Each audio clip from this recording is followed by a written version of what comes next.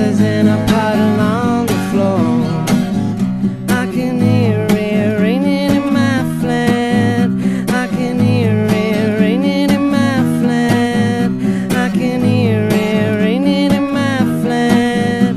I can hear it raining in my flat. No, it's not safe. Sitting in my dolls and pouring rain. I wish I could.